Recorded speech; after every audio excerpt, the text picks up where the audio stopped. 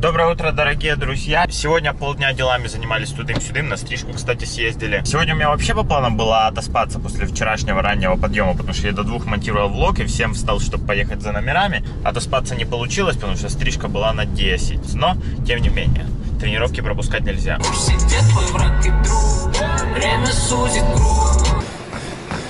Шикарная тренировка, я вам скажу, шикарная. Некоторые даже на беговой сейчас в маске. Несмотря на то, что я вроде бы правила соблюдаю, все равно я только сошел с беговой, уже хочу одевать маску. Она такая, please keep, типа, маску on uh, all the time, типа, все время.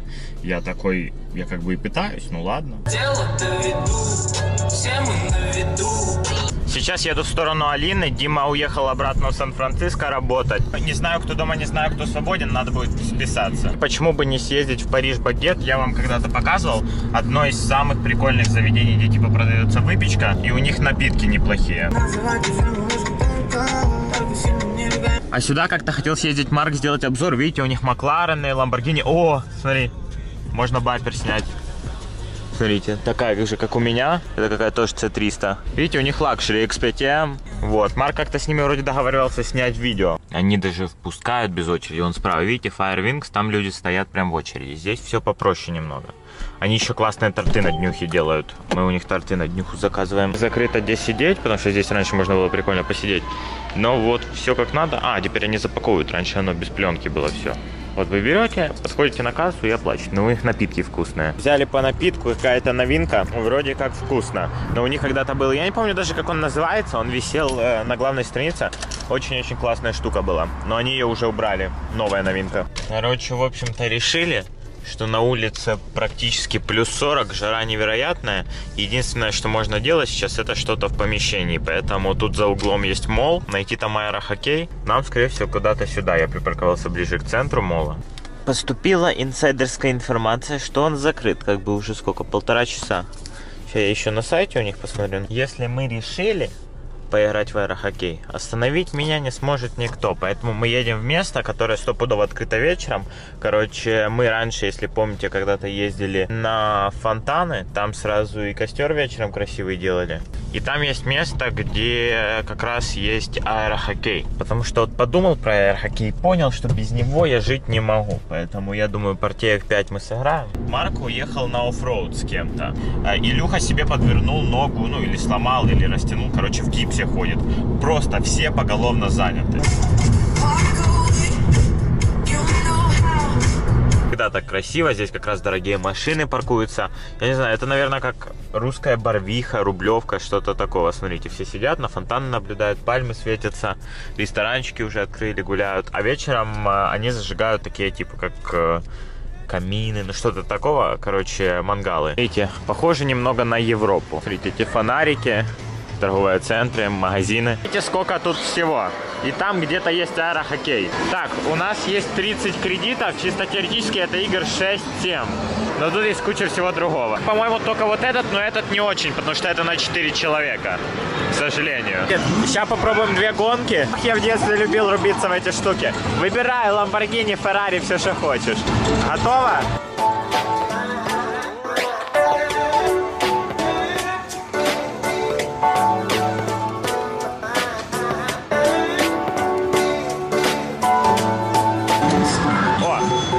И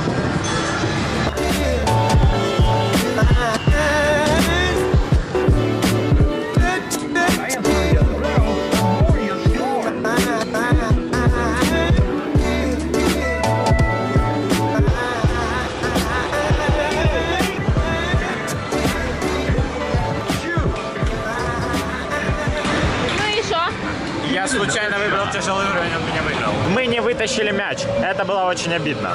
Но я особо и не верю, что я могу вытащить тут что-то, потому что я знаю, что это все обычно такое.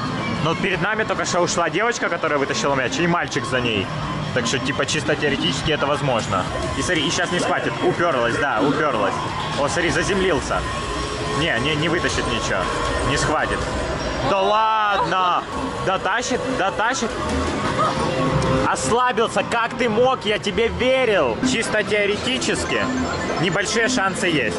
Чё, как он? Я понял, он слишком сильно наклоняется.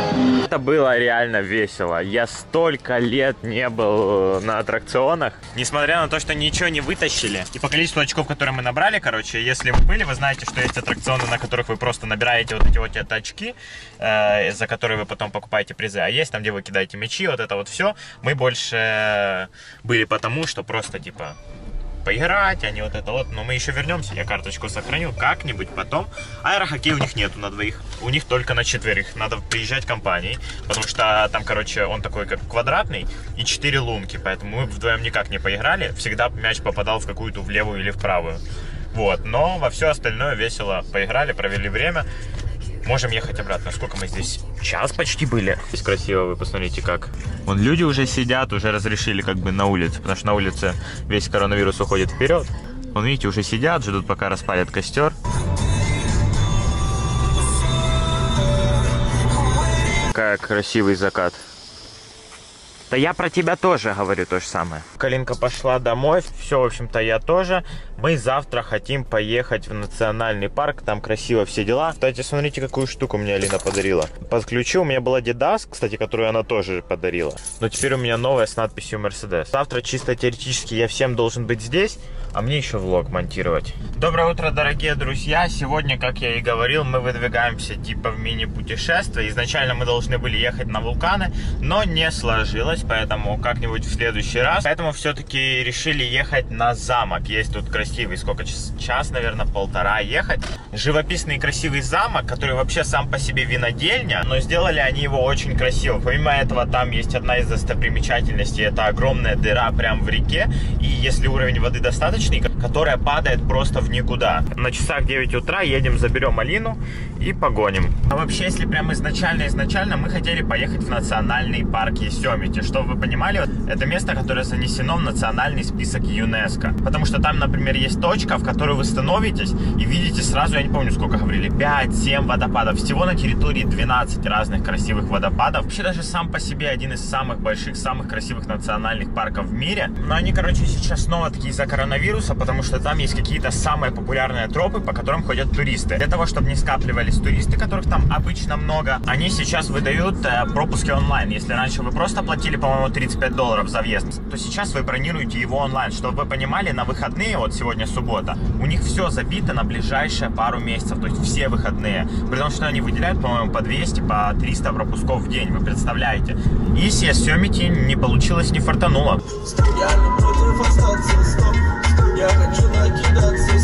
Так, сейчас забираем малину и повалили. Короче, оказалось досадно обидно, что в бардачке, как у BMW, нету прикуривателя. Поэтому я регистратор просто так пока поставил. А потом уже проведу под панелью, потому что я вчера дошел только до Тудова, как засовывать в прикуриватель э, в бардачок. А там его не оказалось. Вот такой вот прикол получился.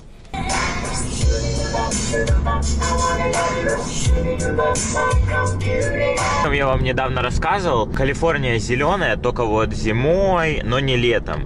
Потому что вот как раз летом все настолько пересыхает, что вы смотрите, то, где была трава, сейчас превратилась полностью в сено. Причем, что только июль, еще даже не август. А вот как раз зимой, когда сезон дождей, все потихоньку начинает расцветать, и весной вот реально красиво. И чуть дальше начинаются такие каньончики, вот тут вот река, люди пускают лодки. Такое озеро, люди тоже, видимо, приезжают сюда плавать, вон на джетске. Вот, а мы немного проехали, нам сейчас надо развернуться. Потому что оно показывало, что нам нужно ехать дальше. Хотя я четко помню, я уже здесь был, что оно в другом месте. Но здесь так, живописно. М, смотрите. Ого, тусовка, нормально они. По себе это гидроэлектростанция. Вон пишет, что постройка стоила 17 миллионов долларов и завершено строительство в 1983. Но туристы сюда приезжают не из-за этого. Сейчас посмотрим. Они, по-моему, ее могут включать, выключать, эту дырку. Смотрите, какой уровень воды здесь, и вы сейчас увидите, какой уровень воды там.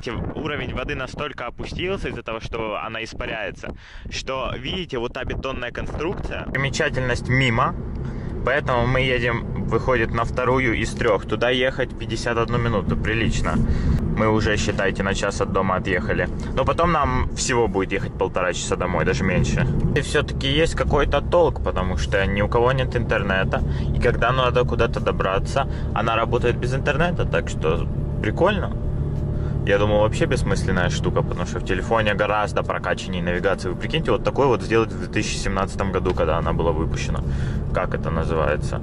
Но на экранчике показывает еще плюс-минус вменяемо. На этой дороге укачивает всех, полностью всех, пока вы туда доедете. Что самое интересное, обратно вы едете по другой дороге. Главное это только доехать туда. Вы посмотрите, эти повороты тудым-сюдым, тудым-сюдым. И вы никак по-другому к этому замку доехать не можете. И вы 30-40 минут вот тыняетесь по вот такой вот дороге. Вот. Но зато путь красивый, там винодельни вокруг, проезжаете всякие красивые. Но дорога, конечно, такая себе. Хотя другую они сделать не могли, потому что она идет, типа, подстраиваясь под гору. Это долина виноделин. Тут на каждом углу какая-то древняя семейная винодельня. Они ее так называют. И мы, по сути, едем сейчас в замок, который сам по себе и есть винодельня. Там просто можно вокруг прикольно походить, посмотреть. У них есть мини-зоопарк. Но сам по себе это завод по производству вина, э, в котором вам проводят платные экскурсии, дегустации. До дегустации мы не дойдем, потому что если в Америке вам 21, вы можете выпить бокал вина и все еще сесть за руль. Это считается типа таким, поэтому для них это супер идеальный вариант, э, чтобы вы на машине приехали, чуть-чуть выпили и уехали, а при том принесли им прибыль. Поэтому э, не стыдно и замок построить, чтобы напоить туристов. Наша главная надежда, чтобы он не был закрыт. Резервация нужна. what if we don't have it? Right? Так, сделай резервацию. Прям что, на что нам делать резервацию? На wine tasting? Не получится. Мы просто хотели посмотреть. Всем гостям должно быть 21 или больше. Ну вон, типа замок, видите, красота, все дела. Да, вы должны забронировать тур и вот это вот все. А так хотелось вам показать. Если бы у них было, не знаю, забронировать резервацию на нарезочку колбаски. Вот мы бы сразу. also known as the castle in beautiful Napa Valley. И тебе Please привет. listen to this message carefully as information has changed. Давай не рассказывай. Это уже знаю. Ага, спасибо. Hello, can we just make a reservation to come uh, outside, take a pictures, not like a wine tours? No, I'm sorry. I'm at this time we uh, we don't allow Кто так делает? Кто? Ну что за село? Сейчас я попробую еще с моим мексиканским бро договориться, но он выглядел жестко. Мексиканский бро сказал, если винчик не глушишь, по-другому никак. Поэтому я посмотрю, если еще здесь какой-то. Но, скорее всего, мы это... Едем дальше. Есть еще 31 минута на машине. Еще одна тоже только по записи, но она там, короче, считается, завоевала премию э, типа интеграции винодельни с искусством. Там, короче, очень много красивых арт-объектов, э, и хочется ли посмотреть, можно ли просто заехать. И там написано, что reservation required, если вы хотите поесть. Но написано для всех посетителей, типа, рекомендуется. А рекомендуется не значит обязательно. Значит, возможно, мы можем зайти и посмотреть. С маской совсем, но зайти и посмотреть. Так, вовнутрь не получится. Не... Мы можем походить, только посмотреть. Ну, тут такой, тут такой замок. Смотрите, видите, вдали какого красивого железного зайца они забабахали. Вообще ж тема, да? И смотрите, вот эта архитектурная штука. Не знаю, что это, но выглядит классно. Вот это уже, видимо, склад начинается. Да, смотрите. Бочки возят, винчик делают. Прикольно. И вот, насколько понимаете, это все. Потому что, чтобы видеть все архитектурное великолепие, вам должно быть 21, чтобы зайти туда. Потому что там наливают вино всем без разбору. Поэтому, если нас типа впустят под предлогом того, что мы будем пить живчик или росинку, вот, все равно нам могут случайно налить, а это уже нарушение закона, и вот это вот все, американцы, вы понимаете. Видно не судьба, видно не судьба. Пара-парара.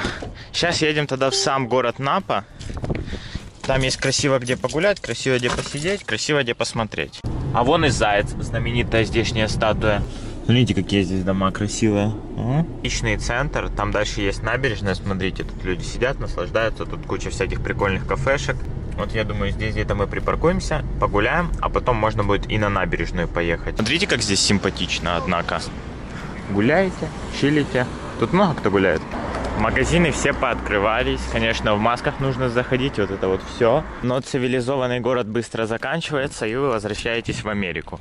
Те же домики, одна двухэтажная, и те же улицы, на которых пешком до магазина вы, например, не доберетесь, везде нужно ехать на машине. Теперь небольшой, поэтому мы его за сколько? За полчаса обошли. Теперь можно и на набережную. Тут сразу по такому поводу велики в аренду сдают. Смотрите, сделали красиво. Но видно, что все такое фейковое. а. Вот буквально пару лет только назад его сделали. Но на фоточках в Инстаграм вообще классно выглядит. Речка. Речка, кстати, тоже высохла, сильно ушла вниз, и она уже похожа на какое-то болотце. Но если смотреть туда, реально Прованс. Получается, вышли откуда проехали, вон тот центр, а там, я помню, была какая-то еда. Интересно, сколько здесь ловят пьяных водителей, потому что здесь везде, что не пивоварня, то виноварня. На каждом углу бухните у нас, практически так и пишут. Там мы шли, паблик маркет, мы когда-то здесь были. Я, конечно, не помню, какую еду мы здесь брали, но мне кажется, здесь можно что-то найти. О, какая пицца. Выглядит симпатично, с прошуто. Пицца оказалась довольно-таки посредственная, как для 25 долларов. И, кстати, на входе всем меряют температуру. Помимо того, что вы должны быть в маске. Как прикольно, парковки нету, они поставили на аварийки и ушли. Прикольненько. Вот это я только что испугался. Я думал, что нашу машину оттовали сюда стала другая. Чтобы добить грандиозность нашего мероприятия, мы решили, почему бы еще не сгонять в Сан-Франциско. Туда ехать сколько? Ну вот, 57 минут. Как раз там походим, погуляем. Может, успеем на Twin Peaks на закат. Закат у нас в 8.33. И можно будет спокойно тулить домой. Потому что на Твин Пиксе вы видите весь город, это смотровая. Но мы посмотрим. Может, уедем раньше, если там нечего делать будет, может, позже. Вот. Но по Сан-Франциско можно реально походить, погулять. Я не знаю, все места уже, наверное, в Сан-Франциско знаю. Десятки раз там был.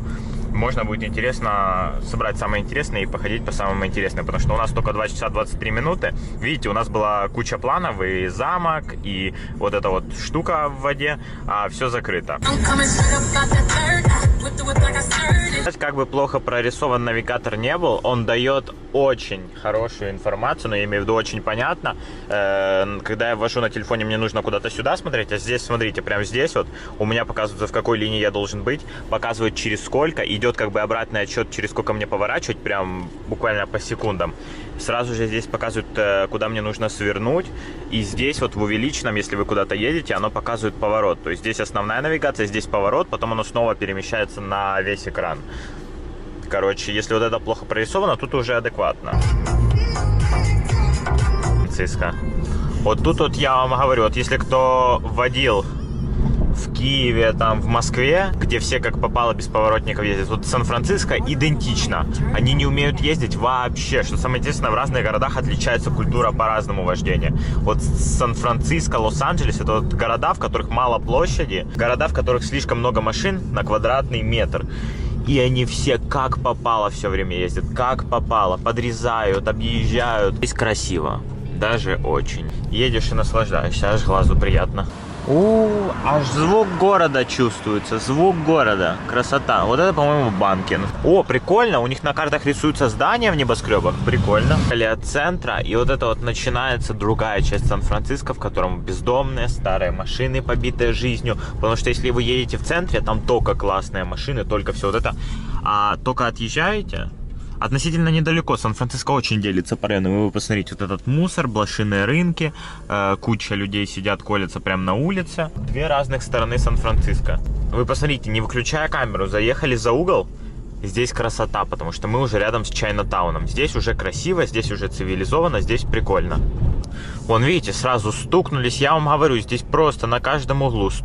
Видите, и вот как мне, здесь только такси, я не могу на эту линию, типа, вообще легально заезжать, но он включил аварийку и ушел в Сан-Франциско. И это мы в Сан-Франциско 15 минут. Я знаю, что у них такие дороги. Просто каждый раз поражает. Вот мы въезжаем уже в более... Да задолбали. Как они водят. Хотим на вон ту вот Пизанскую башню пойти, потому что никто там никогда не был. Интересно, что это такое само по себе. Вон, видите, а- оно как бы возвышается над всем Сан-Франциско. Смотрите, все Сан-Франциско видно. Не, видон классный. Это вот на ту сторону. Вот там вот чуть-чуть видно Алькатрас. Вон он И за вот этим деревом идет у нас Golden Gate. Еще прикол, что здесь никто из них не может парковаться, кроме тех, у кого есть разрешение типа A. Это вон тот Lexus и вот этот Audi. А, и вон еще одна Audi. Больше никто. И я так на видном стою, что мне могут либо сразу штраф хорошо вписать, либо эвакуировать, поэтому надо зашевелиться быстро. А вот и типа здешняя Пизанская башня. Но с высоты она выглядела поприкольней. И она, видите, она цельная. Во-первых, здесь закрыто. Во-вторых, она цельная. А, я думаю, когда не было карантина, это была смотровой сверху. А сейчас вот так вот. Вспомнил, Димаш в Сан-Франциско.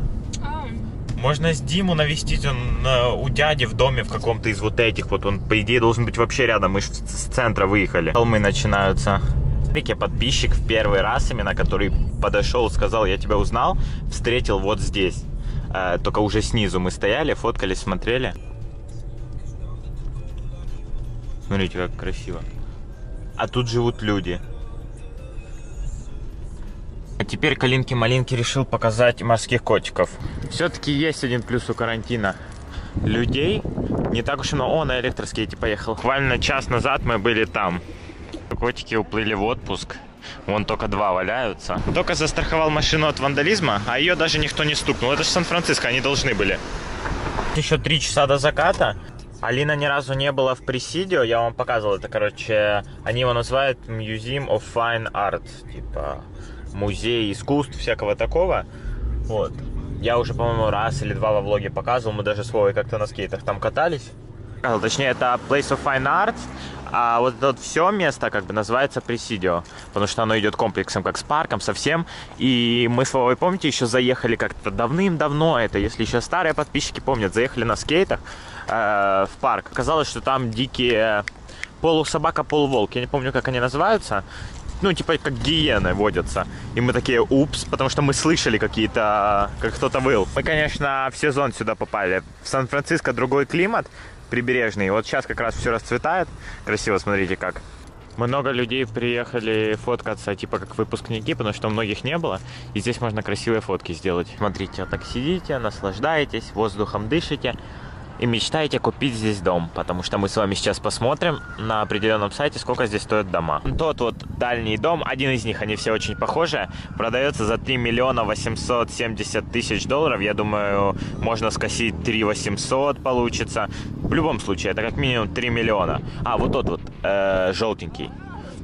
Значит, у него две ванных, три комнаты, 2800 square feet, это, короче, квадратных метров э, 250. Вот вам и Сан-Франциско.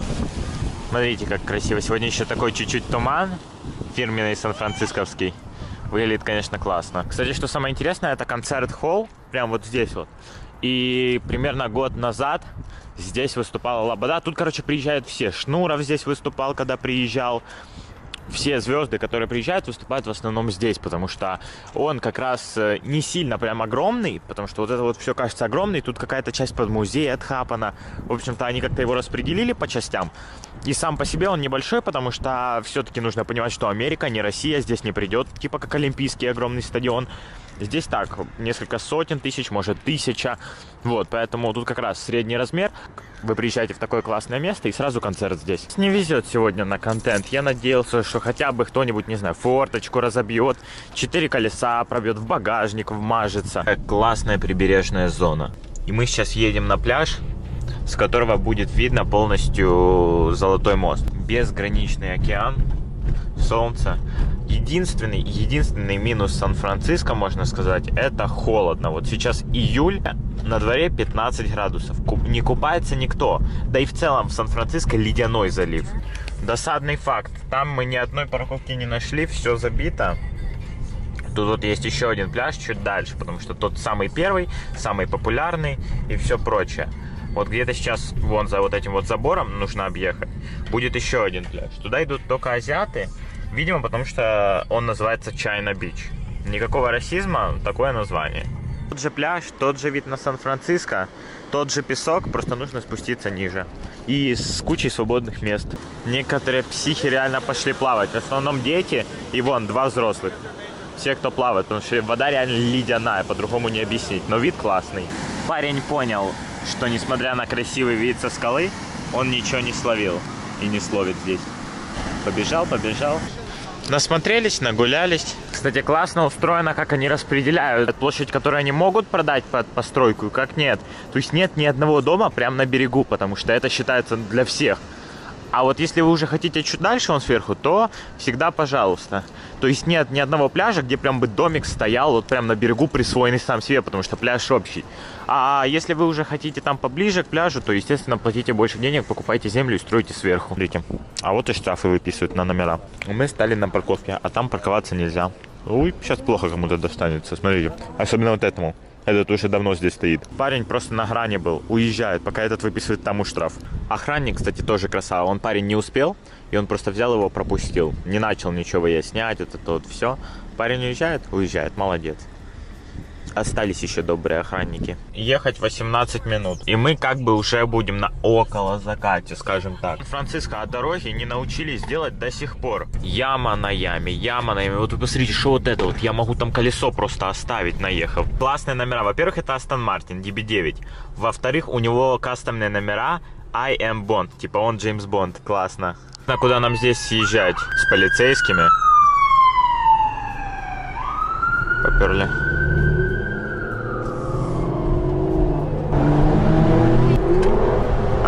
Рычит. Я так не могу, у меня выхлопа нету. Мотопедрист влез. Тупо помешал нам со Астон Мартином. Ну, я бы не догнал, естественно, просто помешал нам со Астон Мартином тусоваться. Кстати, он, походу, едет туда же, куда и мы, поворачивает туда же, куда и мы. Ну, давай, едь, едь, едь, молодец. Показал Астон Мартину класс, он одобрил. Говорит, моя ему тоже понравилась. Ну, это я так по глазам увидел. Вот. А вот уже начинается видок на Сан-Фран.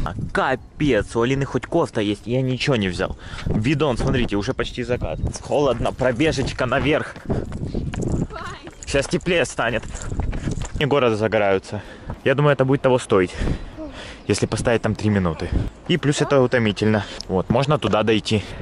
Мы дошли, конечно, но тут такой ветер, что мне кажется, мы, во-первых, до заката не, до- не досидим здесь, а во-вторых, мне кажется, я вообще назад не дойду. Не, валим. Это вид несопоставим с холодом, который вы испытываете. Я помню еще с прошлого раза, что вы умираете от холода, но там вот солнышко светит еще нормально. Здесь я забыл, насколько холодно, потому что это одна из самых высоких точек Сан-Франциско. Смотрите, она даже выше не заботливые американцы. Кто-то забыл ключи, они на карабин прицепили и оставили. Будут искать, найдут здесь. Молодцы. Кто меня заставлял говорить, мы здесь 40 минут, подождем пока закат, красивый вид на город, все дела.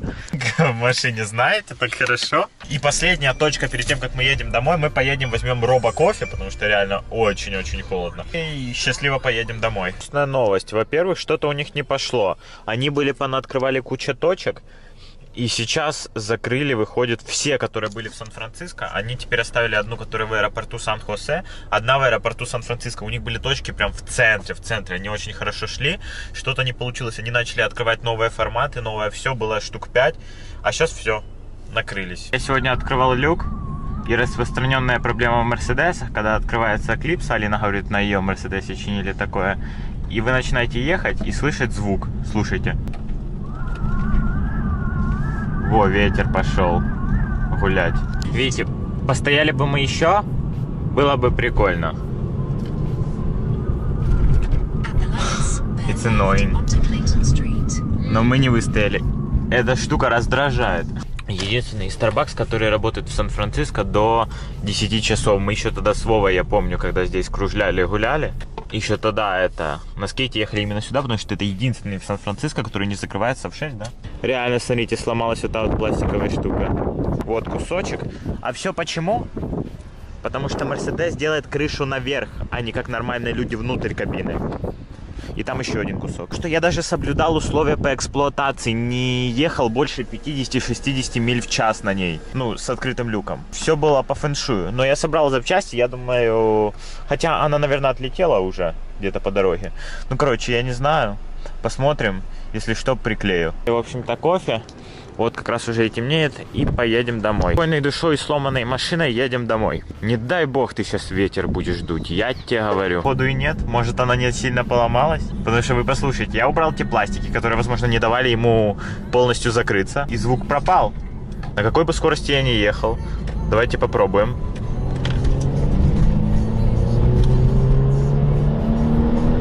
100 километров в час. Звука нету. Снижаемся. Сопротивление воздуха идет, а звука все равно нет. Блинчик, мы починили машину.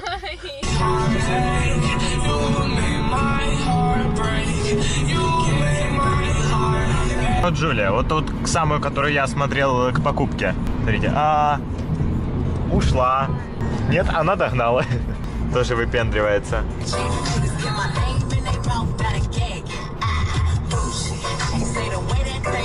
Мы сегодня проехали очень много, а заправился я еще вчера. То есть мы еще на этом баке сегодня домой доехали, мы уже возле дома. Все, закинул Алину домой. Можно ехать домой, высыпаться, потому что влог выгрузил вчера. Следующий буду делать завтра, выгружать. А сегодня, так сказать, пробел как раз выспаться. Вот я и дома. Надеюсь, вам понравился этот влог. Ставьте лайк, подписывайтесь на канал. С вами был Данил Пай. Всем пока-пока.